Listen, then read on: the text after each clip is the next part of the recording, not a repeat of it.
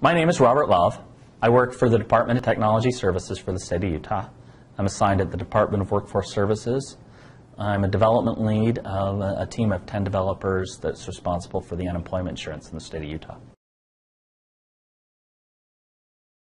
Well, Delphi uh, originated Turbo Pascal, and I started in uh, Turbo Pascal 3.3, and I have been using uh, Delphi uh, ever since. I mean, ever since it, it, was it was released, I really didn't get my first um, Delphi job until Delphi 2, but uh, I purchased a copy of my own on Delphi 1 and, and used it then.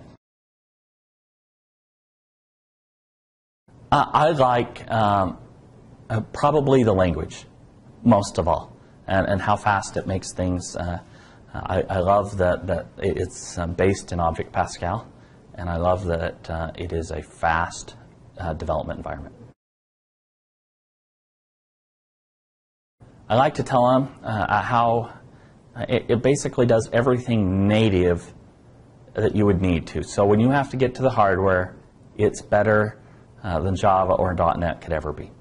Um, and it, it's, a, a um, it's as fast as C, has the power of C with no complexity.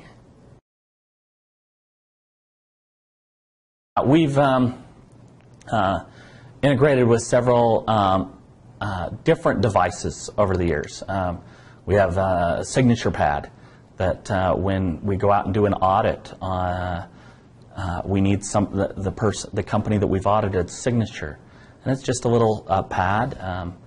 And uh, we've interfaced directly with the hardware there. We've also done it uh, uh, uh, with different scanners um, using both their native APIs and the Twain APIs, but we've been able to integrate directly to various technologies that way.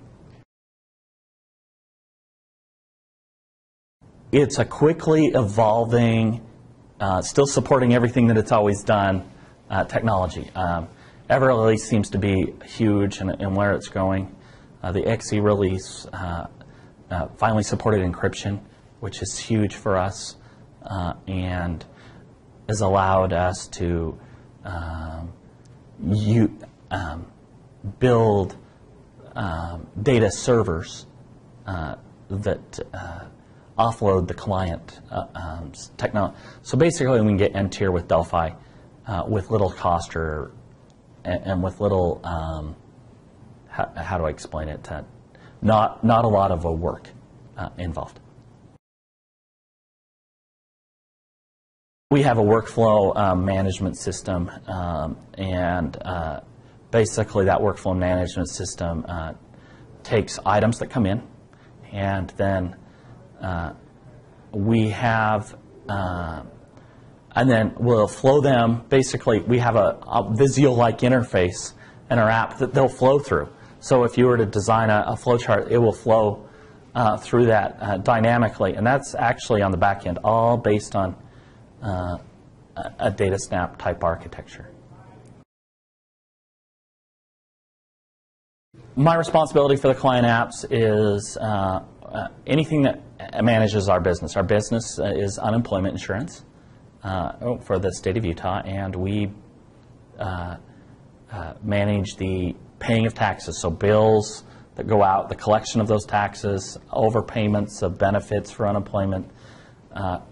we it's a pretty extensive application um, and has um, uh, evolved over time to handle all of the various needs of uh, uh, an ever-changing law in that area.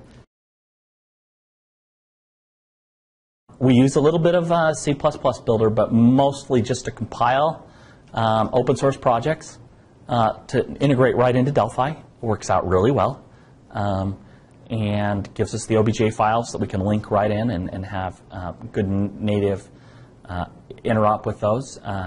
And then we use Prism extensively. And we use it to build uh, web services primarily uh, uh, and uh, deal with uh, our external facing um, web services that we need. Uh, it is. It is a very good choice. Uh, uh, Delphi itself, we have some native Delphi web services, and those are, are, are good too. however, we do find that it's pretty darn fast and easy to do the ones in, in uh, uh, Prism. And it leverages everything that the .NET framework has without having to do that. One of the things we have is, is we have an application that is um, uh, written in Delphi Win32 on the client, and we have a web service that is in Prism, and it's using the same code on both sides. Um, and so it's cross-compiling between .NET and Win32, and it's making uh, our lives really easy to move back and forth.